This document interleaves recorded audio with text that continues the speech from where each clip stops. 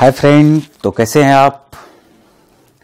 एक बार फिर से स्वागत है आपका मेरे YouTube channel Roshan Mishra sir mathematics पर। और एक बार फिर से स्वागत है टाइम एंड वर्क के इस सेशन में। दोस्तों, ये मेरा चौथा पार्ट है। इससे पहले हमने तीन पार्ट देखा है, तीन part.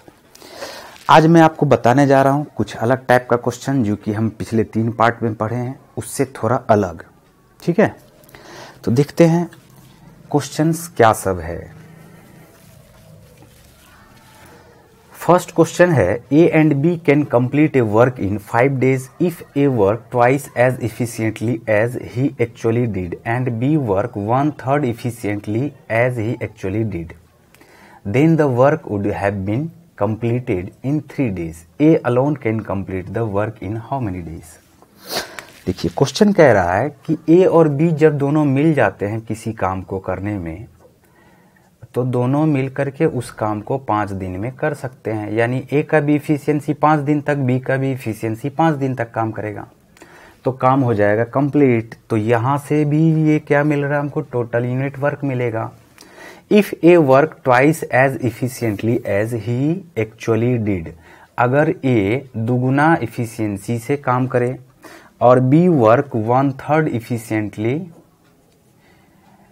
as he actually did तो बी अपने वन थर्ड इफिशियंसी से काम करे। कहने का मतलब है ए अपना दुगुना इफिशियंसी दिखाए और बी अपना वन थर्ड इफिशियंसी दिखाए। तो इस कंडीशन में then the work would have been completed in three days यानी कितना दिन में काम कंप्लीट हो जाता है? तीन दिनों में। तो यहाँ भी वर्क कंप्लीट हो रहा है और यहाँ भी वर्क कंप्लीट हो रहा है। Total unit work total unit work ठीक है? फिर पूछ रहा है A alone can complete the work in how many days A अकेला इस काम को कितने दिनों में कर सकते हैं? तो आप ऐसा कर सकते हैं कि ए और बी दोनों मिलकर के पाँच दिन करता है, यानी हम इसको कह सकते हैं, पाँच दिन तक ए का इफिशियंसी काम लाया और पाँच दिन तक बी का इफिशियंसी ठीक है? तो काम हो गया कंप्लीट और तीन दुनी छह दिन तक ए का काम करेगा। तीन दिन तक टू ए हुआ तो टोटल हुआ सिक्स ए और तीन दिन तक वन थर्ड बी होगा तो बी अकेला हो गया।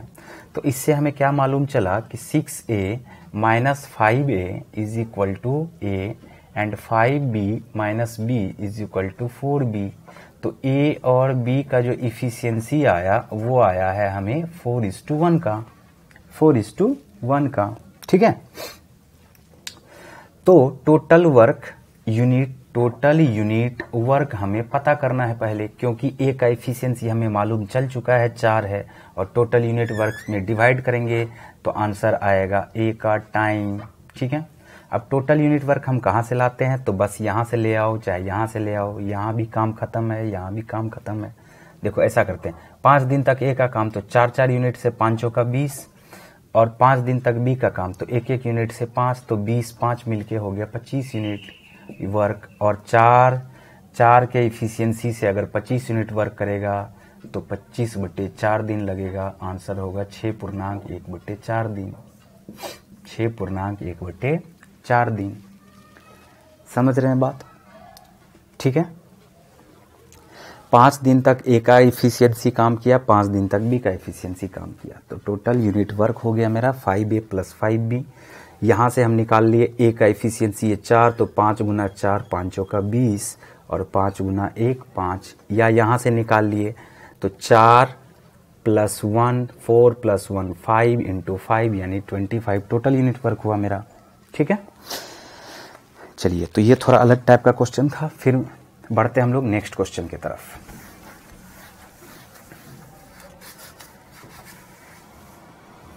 नेक्स्ट क्वेश्चन है मेरा।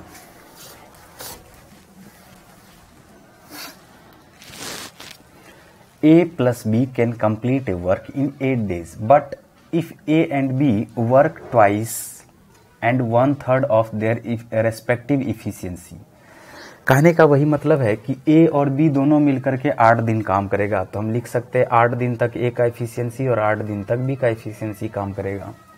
तो काम खत्म हो जाता है but A and B work twice and one third यानी दो गुना ए अपना काम करता है और वन थर्ड बी अपना काम करता है, ठीक है?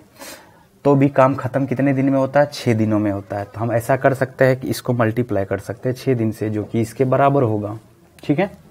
In how many days A alone can complete the work तो ए अकेला उस काम को कितने दिनों में कंप्लीट कर लेगा? बस हम इसे सॉल्व करते हैं। छ छः दुनी बारह A twelve A twelve A minus eight A यानी हो गया मेरा फोर ए एंड इसको अगर मल्टीप्लाई करते हैं तो eight B minus two B two B आ जाएगा ये। इसको मल्टीप्लाई करते हैं तो eight B minus two B is equal to six B तो ए और बी का इफिशियंसी आ गया हमें three is to two six इधर आएगा टू इधर आएगा थ्री इज़ टू टू बस हमें क्या देखना है? टोटल यूनिट वर्क तो हम ऐसा करते हैं, आठ तिया चौबीस हो गया और आठ दुनी सोलह हो गया। यानी आठ आठ कॉमन है तो आठ पंचे चालीस हो गया टोटल यूनिट वर्क और क्वेश्चन हमसे पूछ रहा है क्या?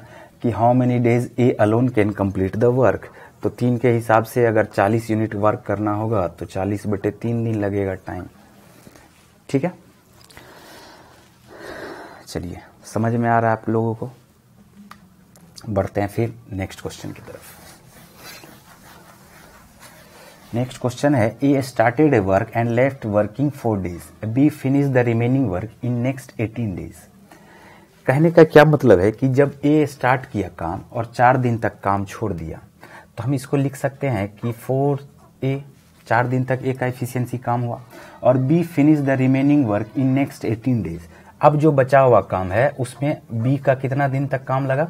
18 दिन तक। इफिशियंसी काम किया तो काम हो गया कंप्लीट यानी यहाँ से टोटल यूनिट वर्क है ये। ठीक? फिर है the remaining work in next 18 days ठीक है? आगे बढ़ते हैं। Had A left the work after working for six days अगर छह दिन के बाद एक काम छोड़ता, छह दिन के बाद एक काम छोड़ता। ठीक है?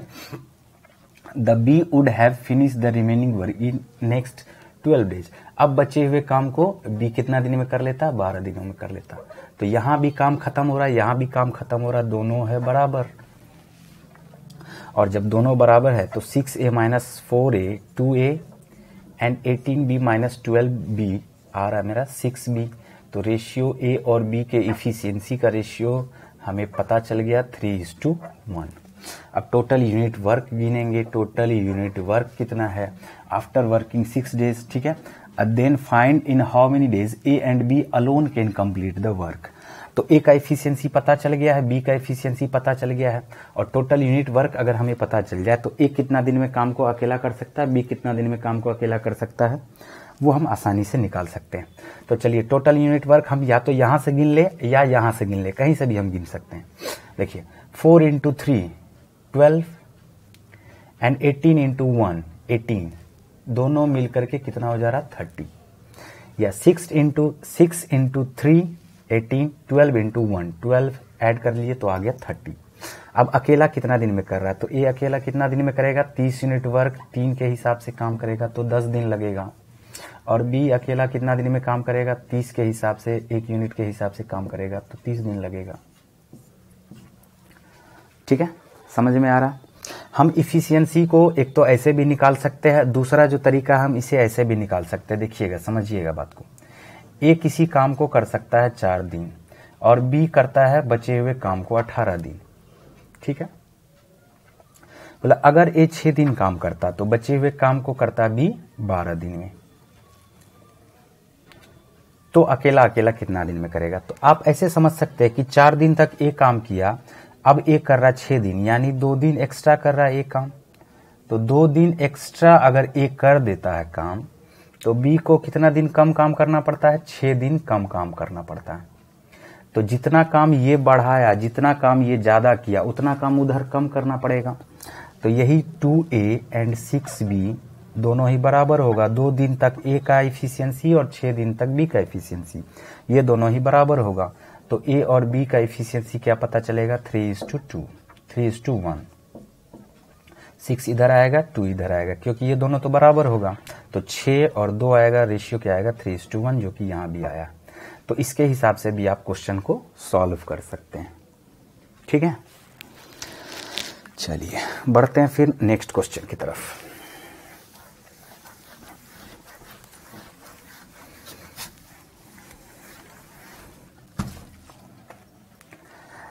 चलिए फिर देखते हैं। नेक्स्ट क्वेश्चन है मेरा, चौथा नंबर का क्वेश्चन है।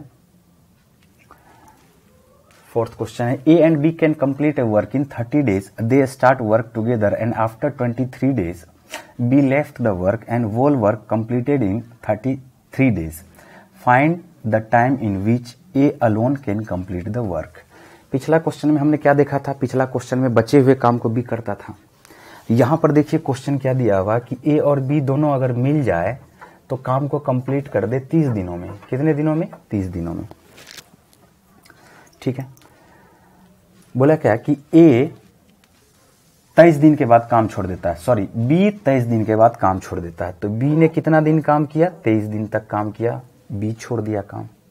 बी ने 23 डेज़ तक काम किया और फिर काम इसने छोड़ दिया। अब कह रहा है कि पूरा काम कंप्लीट होने में इसको 33 डेज़ लगते हैं। पूरा काम कंप्लीट होने में 33 डेज़ लगते हैं। ठीक है? तो find the time in which A alone can complete the work तो हम इसे यहाँ पे फिर से देख सकते हैं। दो तरीका से निकाल सकते हैं। दो तरीका क्या है? कि सबसे पहला तरीका, आप इफिशियंसी निकालने का दो तरीका है। उसको समझ लीजिए। ठीक है? इफिशियंसी निकालने का एक तरीका। तो एक तरीका रूल वन से अगर हम देखें कि तीस दिन तक ए का काम करेगा तो थर्टी ए थर्टी ए और तीस दिन तक बी भी काम करेगा तो थर्टी बी जबकि तैतीस दिन तक ए काम करेगा तो थर्टी थ्री ए और तेईस दिन तक बी काम करेगा तो ट्वेंटी थ्री बी तो यहाँ भी काम खत्म होगा और यहाँ भी काम खत्म होगा। ये बात आप समझ लीजिए। तो 33A में से अगर 30A को माइनस कर दिया जाए तो 3 ए आएगा, और 30B में से 23 को माइनस कर दिया जाए तो 7 बी आएगा। तो ए और बी का इफिशियंसी हो जाएगा 7 इज़ टू थ्री। तो एक तो हम ऐसे भी इफिशियंसी निकाल सकते हैं। दूसरा जो तरीका है, वो ये है कि बी तेईस दिन के बाद काम छोड़ देता है। तो आप सोचिए कि बी ने अपना सात दिन काम छोड़ा। बी ने अपना कितना दिन काम छोड़ा? सात दिन काम छोड़ा। तो हम बोलते हैं, सात दिन बी ने काम छोड़ दिया। और वही जो सात दिन बी काम छोड़ दिया, उसी वजह से ए को ए को तीस दिन ना लग के तैतीस दिन लगा, यानी तीन दिन ज़्यादा लगा। तो हम बोल सकते हैं तीन दिन तक ए ज़्यादा लगाया, किसके वजह से? सात दिन तक बी ने काम नहीं किया इस वजह से। तो three A is equal to seven B और ए और बी का इफिशियंसी क्या आ जा रहा? है सेवन इज़ टू थ्री। तो यहाँ से भी हम निकाल सकते हैं, यहाँ से भी निकाल सकते हैं। फिर आगे क्वेश्चन कह रहा है find the time in which A alone can complete the work. अब ए का इफिशियंसी तो हमें पता चल चुका है तो हम निकालते क्या है? Total unit work. अब टोटल यूनिट वर्क कैसे निकालेंगे? तो ए प्लस बी का इफिशियंसी टोटल मिल करके दस दस और दस दस यूनिट से काम होगा तीस दिन तक। तो हम बोल सकते हैं तीस गुना दस। अब ए का इफिशियंसी है सात ए का इफिशियंसी है सात तो डिवाइड कर देंगे सात से तो टाइम आएगा three hundred by seven days 300 by seven days ये मेरा आंसर होगा। ठीक है? 300 प्लस बाय सेवन डेज़ अगर बी पूछता कि बी कितना दिन में काम को कंप्लीट कर सकता है? बी कितना दिन में काम को कंप्लीट कर सकता है? तो हम क्या करते हैं? इस टोटल यूनिट वर्क में डिवाइड कर देते हैं बी के इफिशियंसी से। तो 30 गुना दस, यानी 300 300 में 3 से डिवाइड करते तो आता मेरा आंसर 100 डेज़ ठीक है? हाँ तो दोनों ही पूछा था एक कितना दिन में काम को कंप्लीट कर सकता है? Three hundred by seven days and B कितना दिन में काम को कंप्लीट कर सकता है? Hundred days thirty into days thirty into ten divided by three ठीक है? चलिए, उम्मीद करते हैं कि ये समझ में आ गया होगा आपको। बढ़ते हैं फिर नेक्स्ट क्वेश्चन की तरफ़।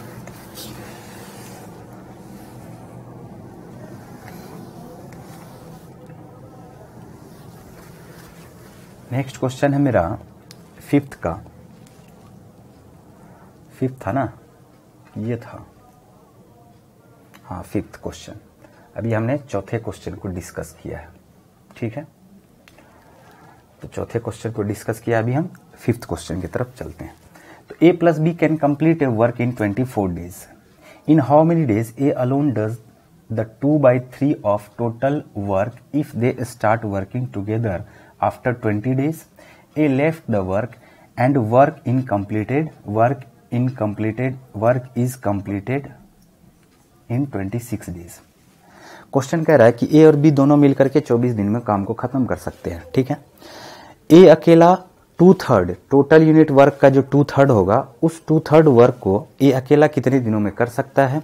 जबकि एक और भी क्लू क्या दिया हुआ है कि if they start working together after 20 days A left the work and work is completed in 26 days बस, बात समझ में आ गया? उसी से रिलेटेड है। आप देखिए ए और बी दोनों मिलकर के 24 दिन तक काम करता है। तो टोटल यूनिट वर्क तो निकलेगा, दोनों का एफिशिएंसी जब पता चलेगा, उसको 24 से हम मल्टीप्लाई कर देंगे। तो एफिशिएंसी हम निकाल लेते हैं। ए प्लस बी चौबीस दिन में कर रहा है, ठीक है? 20 दिन के बाद एक काम छोड़ दिया। तो ए ने अपना कितना दिन का काम छोड़ा? चार दिन का। तो हम लिख देते हैं फोर ए और पूरा काम कंप्लीट हुआ 26 डेज़ में। इसका मतलब क्या हुआ कि दो दिन बी को एक्स्ट्रा काम करना पड़ा। तो यानी टू बी तो four A is equal to two B तो ए और बी का जो रेशियो है, वो क्या आ जा रहा है? वन इज़ टू टू का। इफिशियंसी का रेशियो आ गया। अब हम क्या कर लेते हैं? टोटल यूनिट वर्क निकाल लेते हैं। तो टोटल यूनिट वर्क निकालेंगे तो 24 दिन में दोनों मिल के काम करता है तो हम लिख देंगे वन प्लस टू यानी थ्री इंटू ट्वेंटी फोर अब इसका टू थर्ड काम करने में ए अकेला कितने दिनों में कर सकता है? अब ए का एफिशिएंसी तो आपको पता है। तो टू थर्ड जब हम इसका निकालेंगे तो टोटल यूनिट वर्क का टू थर्ड तो टू बाई थ्री थ्री से थ्री कट गया। अब देखिए, एक के हिसाब से अगर काम करेगा सॉरी यहाँ पे चौबीस है ना? एक के हिसाब से काम करेगा तो एक से डिवाइड करना पड़ेगा। अब ऊपर में आप देख लो क्या आ गया ट्वेंटी फोर इंटू टू यानी फोर्टी एट डेज़ हुआ मेरा आंसर ठीक है? वैसा ही क्वेश्चन था, थोड़ा सा इसमें चेंज किया हुआ था और कुछ खास नहीं। बढ़ते हैं फिर नेक्स्ट क्वेश्चन की तरफ़।